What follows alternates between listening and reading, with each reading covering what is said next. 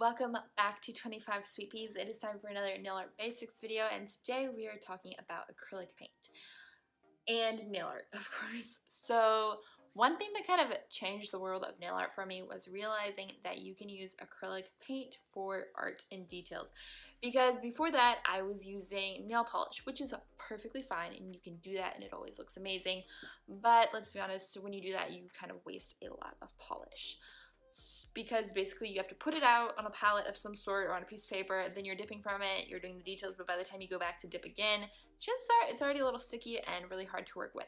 Which is why I then moved on to using acrylic paint because acrylic paint is a much more forgiving. It allows you to kind of manipulate it more, which usually that's a bad word, but this is a good thing. Manipulation is good when it comes to paint and doing fine details. So we're gonna go over that. Um, for this, for the most part, you can basically use any uh, acrylic paint brand. I have some that I definitely know work. Then I also have one that I know does not work, which was super disheartening because I loved the color range and the selection that they had.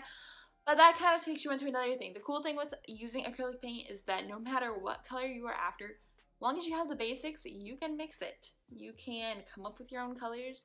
You can make whatever you need on demand, basically. And let's just get into talking about what brands I use, how I use them, and so on. Okay, so whenever you're starting to use acrylic paint for art, you can have the bare minimums. All you really need is a piece of paper, not actually even a piece of paper. You basically just need an acrylic paint bottle and some fine brushes. You can use regular craft store brushes that are super tiny. That's actually how I started. Then later on, I ventured into nail art brushes. Those we're going to cover in another video, but really you can use anything that you feel comfortable using and that you think will be small enough to do detailing on your nails. So what I meant by you only need the bottle is that you don't actually have to pour any paint out with an acrylic paint. Of course you can, and it is very helpful if you want to mix colors. I would highly suggest if you plan on mixing colors to grab a little palette like this for just regular paint then putting dabs of paint in here, mixing your colors. But if you don't have one of these on hand, you can use a simple folded up piece of paper and do the same thing. You could even do it on like wax paper, parchment paper, something like that that's disposable and is also protecting the surface that you are painting on. But if you don't have any of those or you just don't want to bother with squirting out the paint, my favorite trick to using an acrylic paint is actually just unscrewing the lid, Putting this part off to the side so you don't bump it or anything while you're doing art is just grabbing the paint from the top of the lid. I rarely ever, actually I don't think I ever do. I don't actually ever open this and squirt it out. So you can just see that that's just from flipping the lid over, which is fine.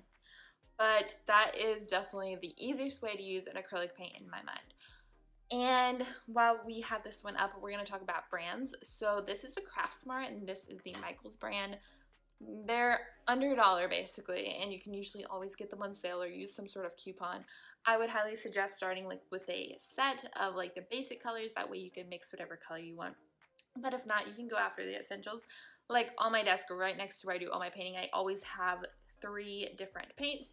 I have navy blue, I have black, and I have white. But Craftsmart is a really good one. This, sometimes you might need to water it down a little bit to get a smoother glide on your nail, but you're also, you just kind of play with that. The water is not going to affect the paint that much. It is still going to dry. It is going to dry really nice, actually.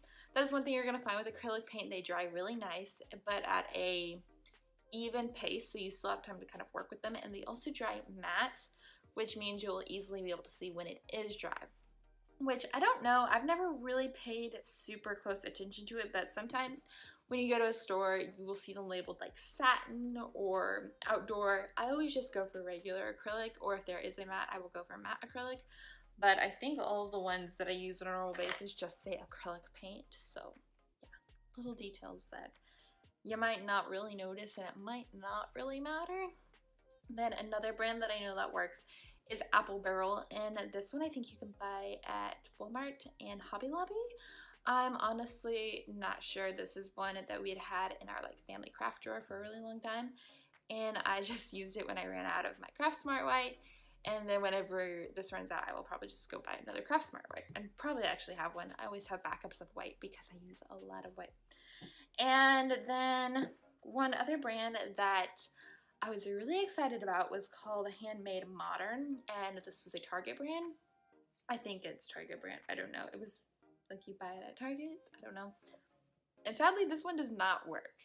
So if you see this one at Target and you see the really pretty range, and you're like, ooh, I want to pick up some of this. Yeah, I kind of advise against those because I used this for a design the other day, put on top coat, and it cracked like really bad.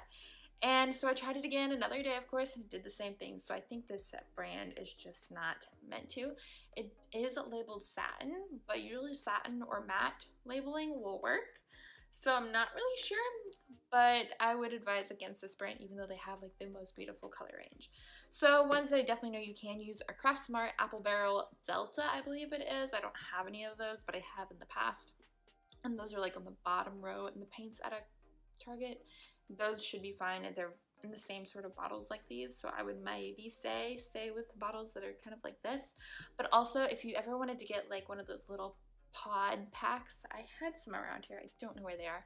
But the little pods, if you just want to test them out, sometimes those get thicker quicker, so you might have to add some water, but those will work just as well as any of these, and you can pick them up at any craft store, even Walmart, I believe. So now that we have talked about brands and I think covering like how to use them as like what surface to put them on or just using them straight from the bottle, one thing to remember is that whenever you are using acrylic paint, it is washable. So that means if you are using acrylic paint for art detail on top of your nails, you definitely need a top coat. If you don't have a top coat on, the next time you go to wash your hands, it's likely, it's not like 100% gonna happen, but it is likely that some of the design will start to like either scratch off or fade off because of the water. So you always want to lock in your art with a top coat, which you guys can head to the top coat video where I talked about a whole bunch of suggestions of those.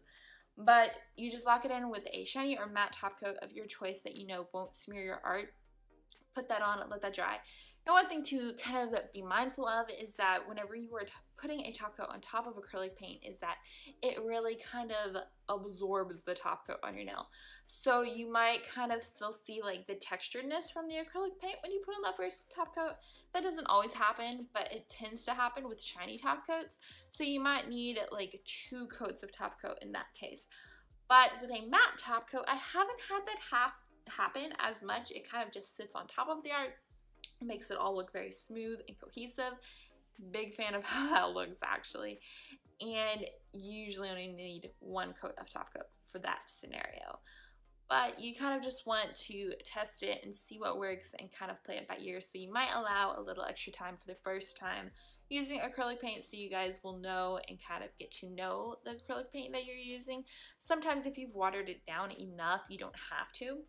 And also, that brings me to another point that's if you ever want a watercolor nail art look, you can actually dilute acrylic paint down enough to use it on your nails and it will look like watercolor. We're gonna go over that in a video in like a whole watercolor nail art video, but it is super cool. So definitely grab some acrylic paint next time you're out or maybe you already have some in a craft drawer somewhere.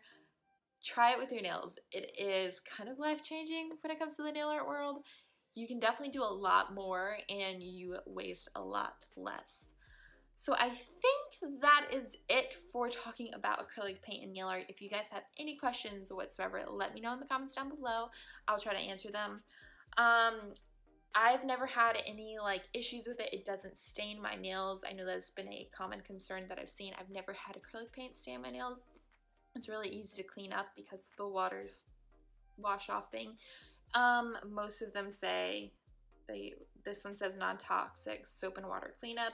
Of course, you don't put it in your mouth or anything like that. But I mean, if you've ever used acrylic paint for anything, it's not gonna hurt you. I've never had it hurt me. If you have an allergy to something in it, then of course I would advise away from it. But that is something you'll kind of just have to find out or read the labels on because I know there are certain things with latex that I stay away from. So that is something, of course, you want to be a little cautious of but it is not toxic. I've never had any issues with staining or anything like that. So for me, it is a go. it is all safe and I love using it. It has changed the nail art world for me forever since I started using it.